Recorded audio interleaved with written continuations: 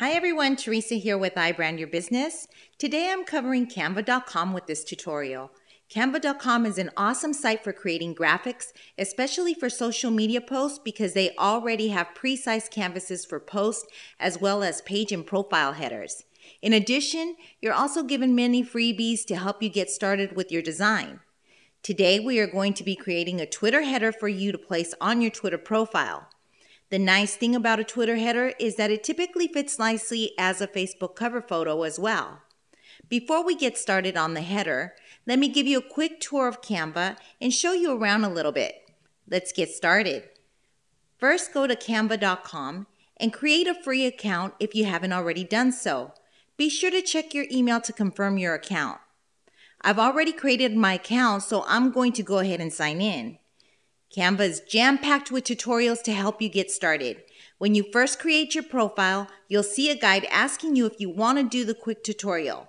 If you click on Show me how it's done, it'll show you a very quick tutorial on adding graphics, text, how to download, etc.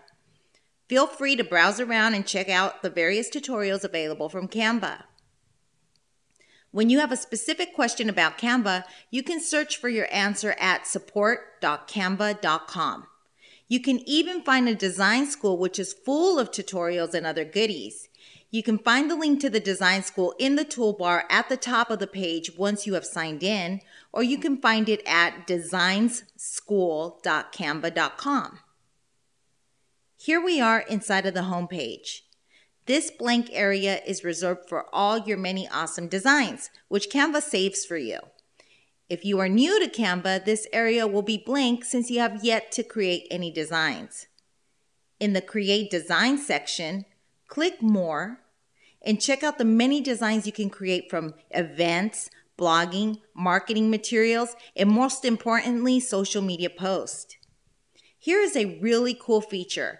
Canva gives you the correct dimensions for Facebook ads, so no more trying to cut to size graphics when creating an ad on Facebook.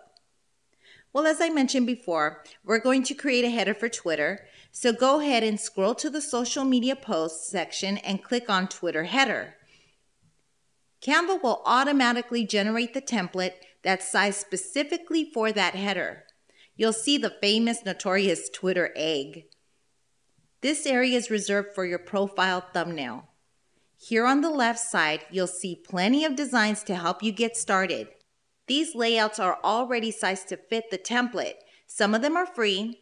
They are marked with a free icon, and some have a dollar sign, which at the moment you'll need to pay a dollar for each graphic or image you decide to purchase.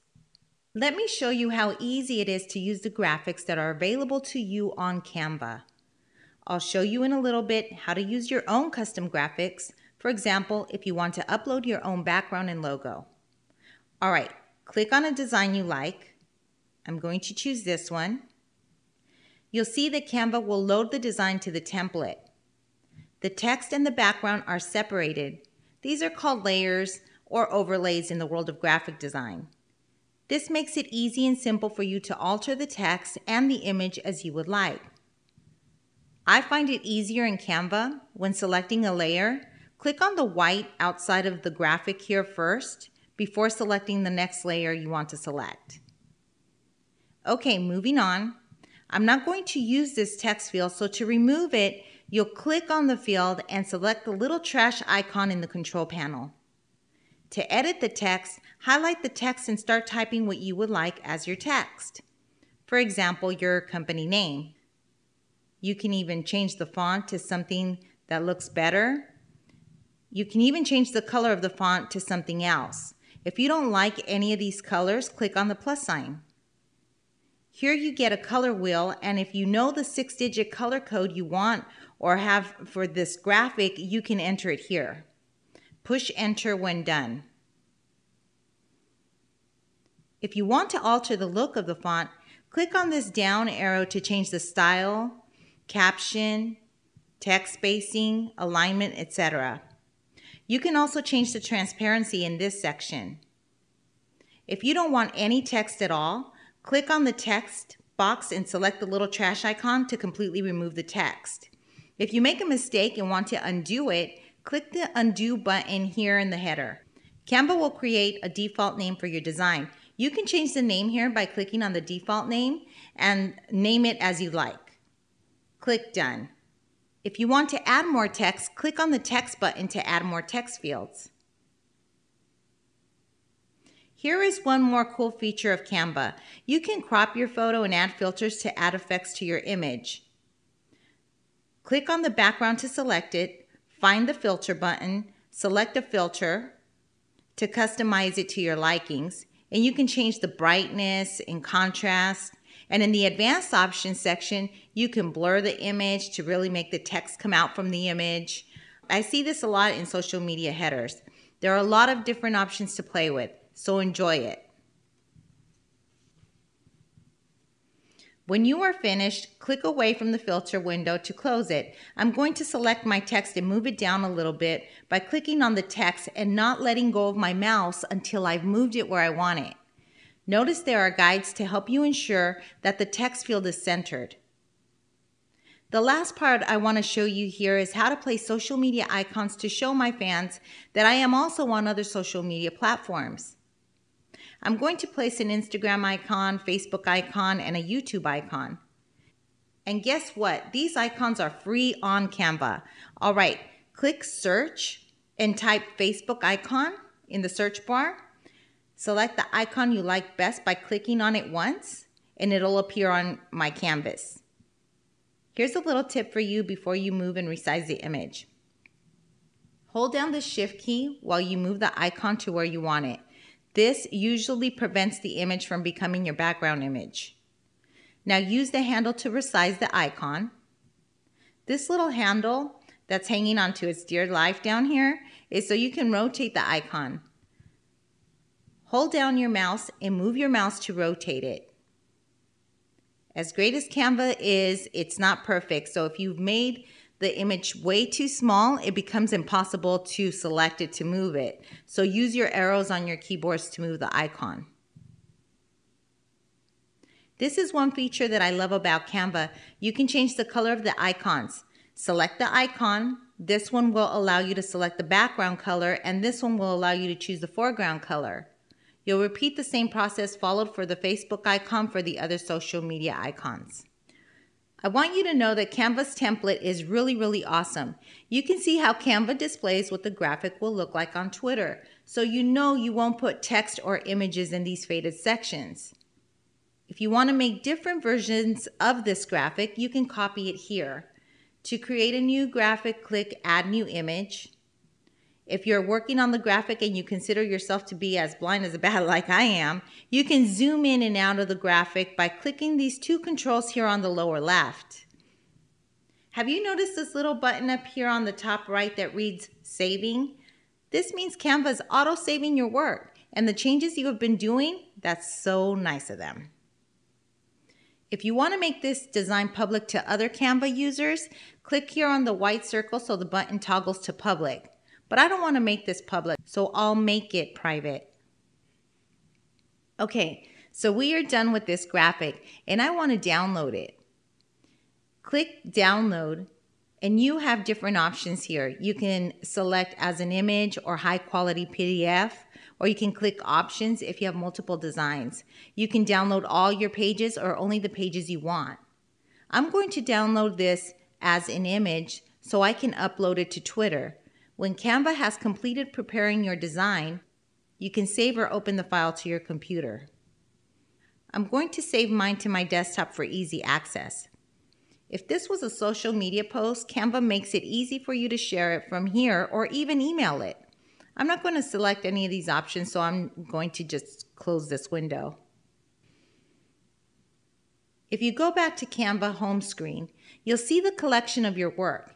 If you decide you absolutely hate this design and want to delete it, hover over the design and click the down arrow to delete it or copy it. Copying the image is good if you don't want to lose your original work, but want to see what it would look like altered. To alter or edit any image, click on the image and get down with your artistic self.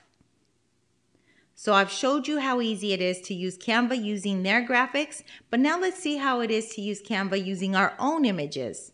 All right, let's move on. I'm going to create a Twitter header for my friend Lisa with Woz Marketing. I already have my images separated and prepared to create her header. I'm going to show you how simple this can be. From the Canva home screen, click on the More button and scroll down to the social media section and select the Twitter header template. By the way, I forgot to mention in the previous section that you have many different options for free backgrounds, but for this section, I'm going to add one for my computer. I'm going to click on Upload section, select Upload Your Own Images button. Navigate to the image from your computer and click Open. Once your image is uploaded to Canva, you'll see it here. Now click the image once and it'll appear on your background. Use the handles to fit your image into the template. Notice here, if your account is connected to Facebook, you can select images from your Facebook profile here. Now I want to add Lisa's logo she provided me, so I'm going to click on the Upload Your Own Images button again, and I'm going to upload her logo. I'm going to click it once and it will appear on my canvas. I'm going to hold down my shift key and move it to where I want the logo to be. I want to rotate it a little bit, so I'm going to use my rotation handle to tilt it. I think it's perfect like this, so I don't need to resize it. I'm going to click away to deselect the image. So Lisa absolutely loves The Wizard of Oz. So she asked me to place a Sassy Business Dorothy onto her Twitter header. I'm going to click on the upload your own images again and follow the same steps as before. And here she is, the sassy little business Dorothy. And I want her to walk on the yellow brick road wearing her incredibly cute ruby red slippers. I'll resize her so she doesn't look like a giant attacking the Emerald City. Oh, I can't forget the famous Oz balloon, so I'll go ahead and add the hot air balloon. I'll follow the same steps to add the balloon. Lastly, I'm going to add some text. Lisa has this nice tagline I'll add here on the right. I'm going to go ahead and click on text. You can choose from the sample text, but I'm going to use the add subtitle text button and alter the font as I'd like, helping you navigate your yellow brick road. Use the handles or select the text box to move and resize. Use the controls to alter the font. I'm going to choose Sanchez. I'm going to use the color red. And then I'm going to size it to 24. And you can set the style and the alignment, etc. here. Here is a really neat trick I want to show you. You can place layers behind or in front of another layer. I'm going to move this text over to the balloon and click on the little down arrow and select move to back to place it behind the balloon. I'm not going to leave it there, so I'm going to put it back. I just wanted to show you that. I'm happy with this design, so before I download it, I'm going to click on the default name and I'll rename it to Woz Marketing Twitter Back. Then I'll go ahead and click on Done. I'm going to download this as an image. I'm going to save it to my computer. Here, I'll email it to her so she can see it and so she can upload it to her Twitter profile. So here it is on Twitter. Remember at the beginning of the video I said these Twitter backgrounds typically fit nicely into Facebook as well? Well, here you go. Here's Lisa's Facebook page with the same graphic. Very quickly, I want to tell you about the Twitter profile picture. Go back to Canva and under Use Custom Dimensions, you're safe to set your social media profile pictures at 500 by 500 pixels. Enter the dimensions and click Design to create your profile picture. Follow the same steps we used for the background and you've got yourself a social media profile picture. I'll do that here quickly for Lisa. Here is Lisa's profile picture. I'm going to name it Lisa Profile Picture and click Done. I'll download it and send it to Lisa so she can upload it to her social media profiles. And that's it, folks. Now you can use Canva and be a rock star and design your own stuff. This should save you all some time and money. Please be sure to subscribe to the iBrand Your Business TV YouTube channel. Have a great day, and we'll see you in our next video. Bye now.